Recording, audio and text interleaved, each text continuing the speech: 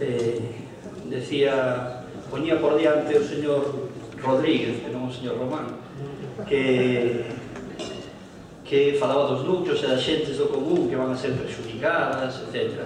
Bueno, eh, ao Partido Popular eu creo que lle importa ben pouco estes núcleos tradicionais e as xentes. Póñenos de excusa e de escudos humanos para facer os negocios que de verdade lles interesa, que son outro tipo de negocios e que teñen nome e apellido e que privatizan o litoral.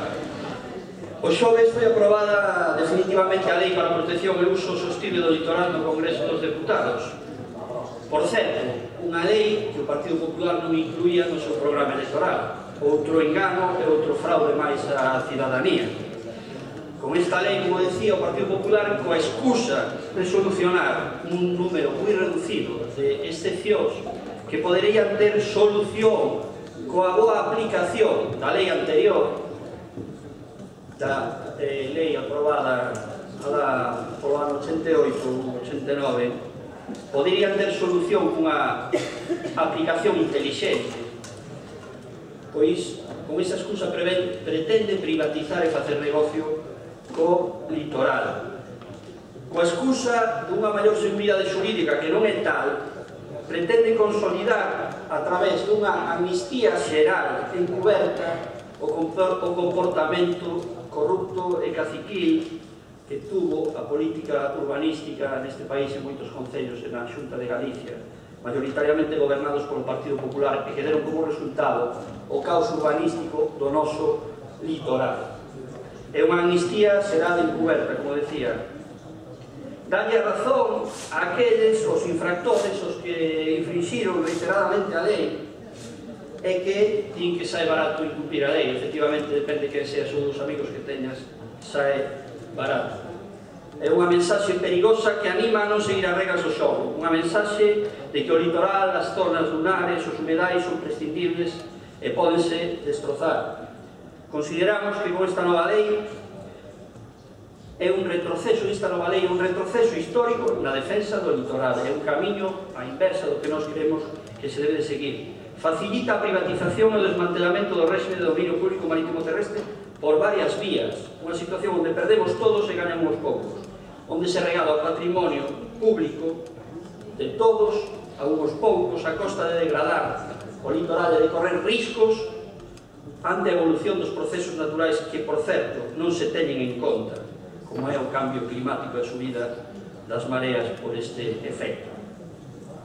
A través da desafectación do carácter de dominio público de determinados terreos como salinas, instalacións de agricultura, marismas, terreos afectados segundo a valoración que se faga dos maiores temporais coñecidos, as praias que xa non reúnen as condicións naturais establecidas e mesmo praias que poidan ser regeneradas pola acción da Administración Xeral de as, as zonas interiores tamén dos paseos marítimos, as urbanizacións, as dunas, como di a lei, que non sexan necesarias para esta vida das praias tamén poden quedar desafectadas deste dominio público, etc. Moitos casos nos que se regala patrimonio de todos as más privadas, porque esas industrias poden funcionar perfectamente con concesións, non lle hai por que regalar o dominio público, e pode seguir tendo actividade económica igual.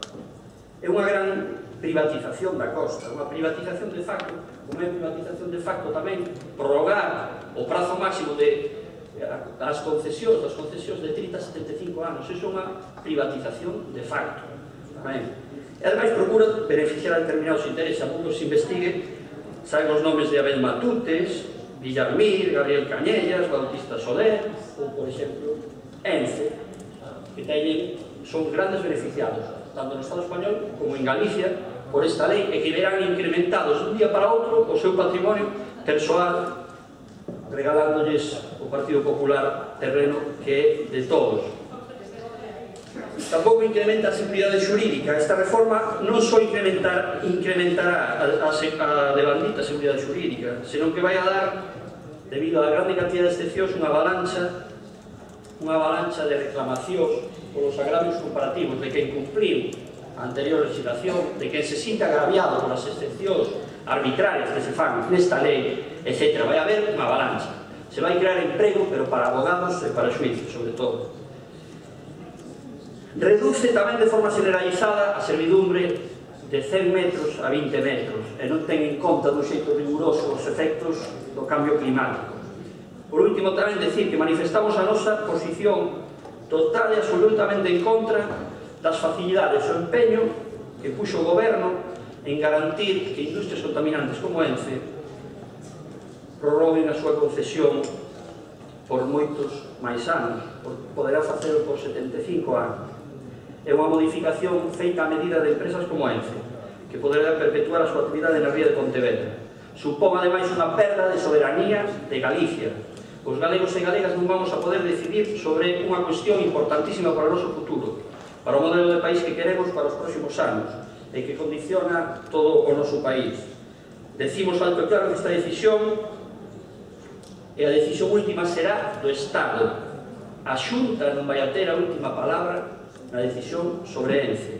É rotundamente falso, por exemplo, que dixo no Parlamento a secretaria xeral do urbanismo, que dixo textualmente que ninguna ocupación industrial vai manterse, nin Ence, nin ninguna outra no dominio público marítimo terrestre do litoral de Galicia sin ter a aprobación da comunidade autónoma.